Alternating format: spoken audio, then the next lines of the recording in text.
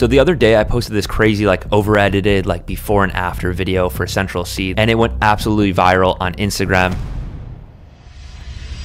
I'm not in a mood cause my flight delayed So I jumped on a private jet and I'm asking a pilot the ETA Lambo parked on a landing strip Everyone in my gang and my DJ paid Why is my man talking about inshallah? These times he don't even pray Why is my man wearing a Jesus piece?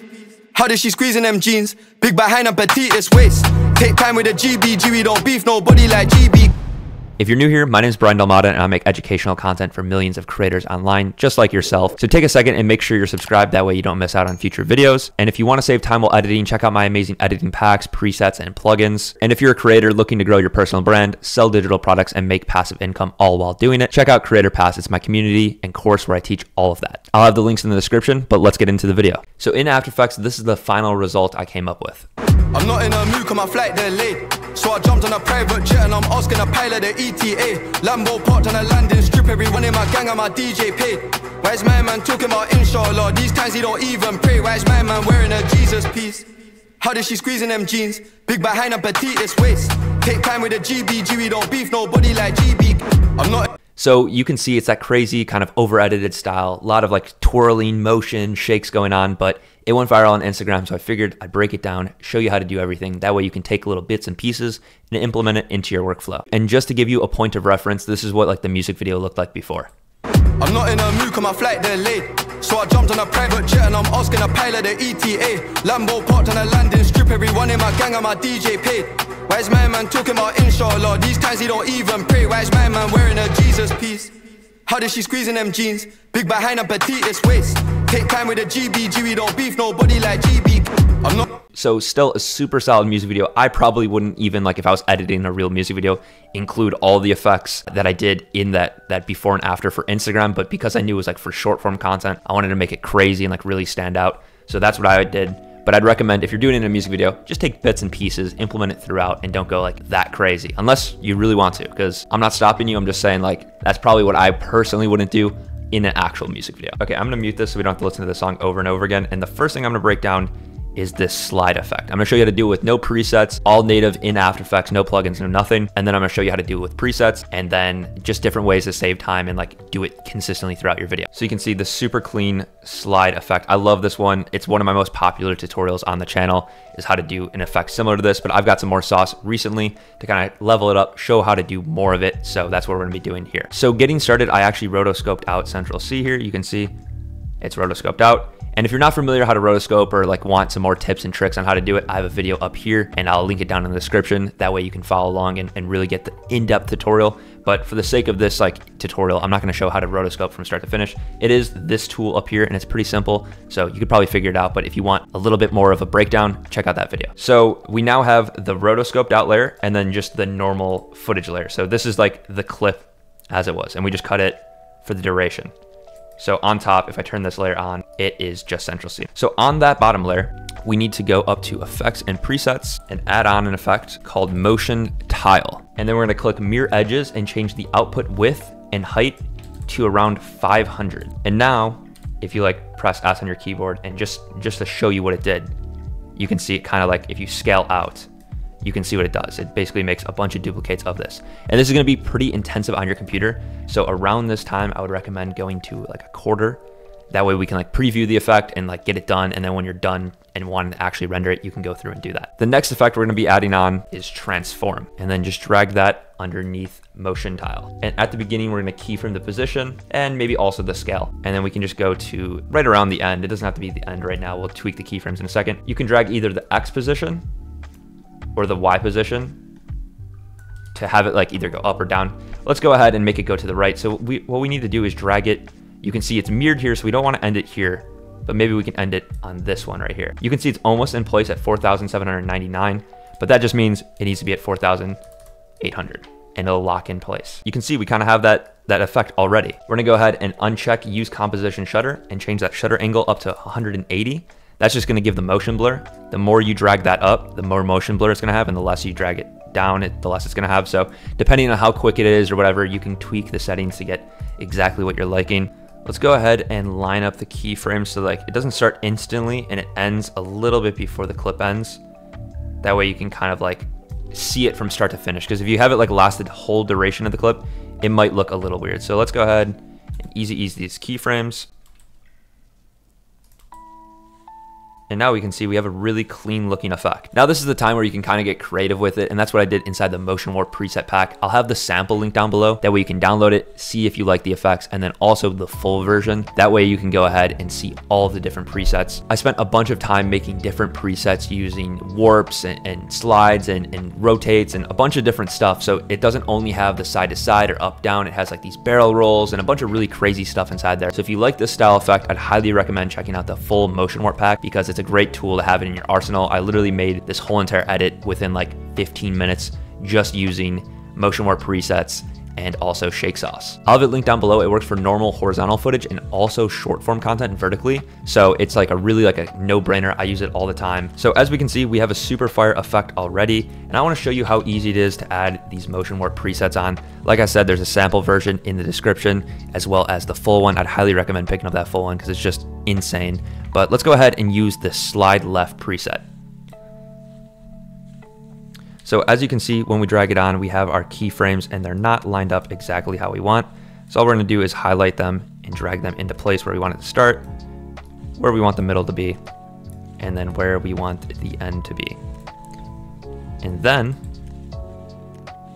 just like that, that we have the effect that we just made with a little bit more sauce. I think it just looks a little cleaner with some of the more warps and other stuff on it. So you can really get creative making effects like this and add on different distort effects like CC lens, lens distortion, optics compensation, turbulence displace, wave warp. There's so many different effects that I use throughout the pack just to sauce it up and make it look a little bit better um, that I'd recommend you just play around with and spend time doing. Just to give you one more example of what's inside the Motion Warp pack, if you drag on an effect like Spiral, This That Sauce, and then kind of just tweak it how we did, ever so slightly, just real quick, and then play it,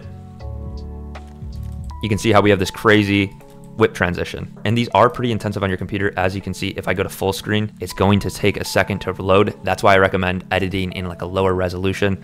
And then when you want to like lock in the effect and make sure it's like actually taking place, just go ahead and put it on full so you can see if it's actually what you want. So you can see taking a second here, and we're gonna have the effect in just a second. And there we are, just a simple effect just like that. So then you can see we kind of have a similar looking effect happening here where Central Cee is rotoscoped out and there's just the background doing this crazy distortion. And here, I'm, I'm not gonna go through and break down every single one because they're kind of redundant. They're all kind of the same thing.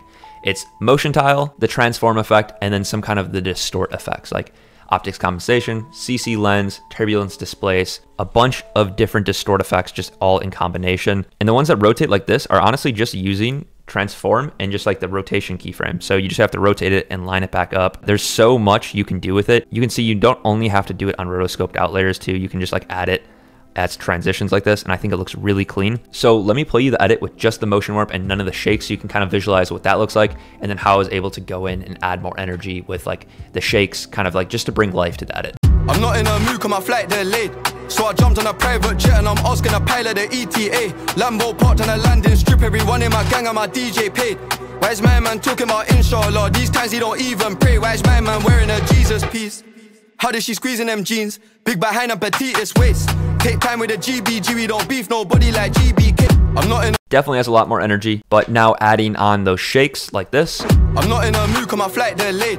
So I jumped on a private jet and I'm asking a pilot the ETA Lambo parked on a landing strip, everyone in my gang and my DJ paid. Why is my man talking about inshallah? These times he don't even pray. Why is my man wearing a Jesus piece?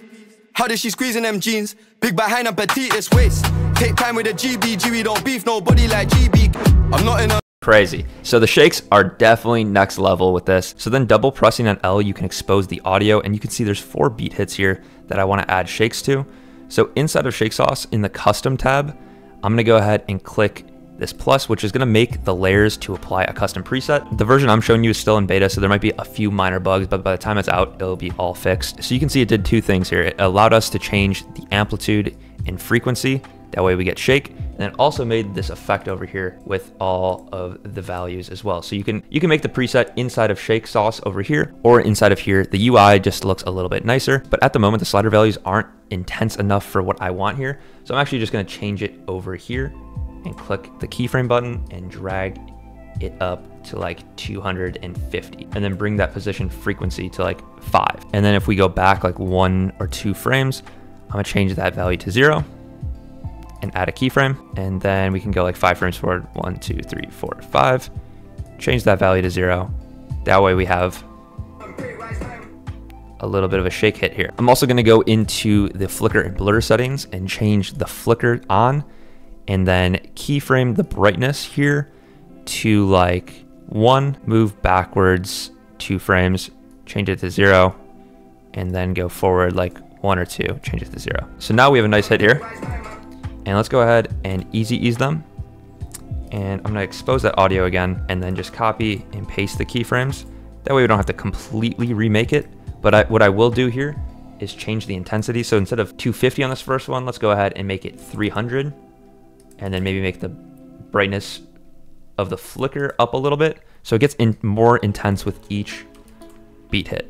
That way it kind of like builds up to something. So then just going through, instead of 300 this time, let's go ahead and make it 350 and then 1.5. And then lastly, copy and paste it to this last one and change it to 502. So now when we play this, you can see how there's a lot more energy. Now the crazy thing about this is we can go ahead and if we put our playhead where we want the shake to start, so this is where like the beat hit is, so we want the shake to start, we can go over here and click set center keyframes, and then you can see it changed those keyframes to green. And now when we click the save button, we'll just name this Central Cee and click save. When we go back into our presets and our keyframed, scroll to the bottom, we have Central Cee. So let's go ahead and delete this and say we wanted to like add this throughout our video or just make it a preset to save later, all we have to do is go to Central Cee, click on our layer, and then click apply.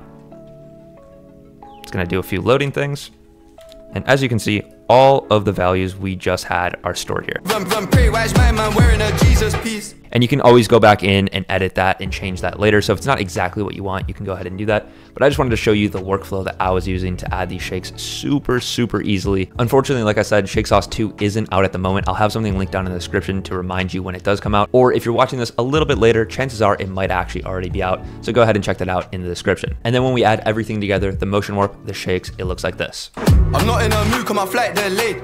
So I jumped on a private jet and I'm asking a pilot the ETA. Lambo parked on a landing strip, everyone in my gang and my DJ paid. Why's my man talking about inshallah? These times he don't even pray. Why's my man wearing a Jesus piece?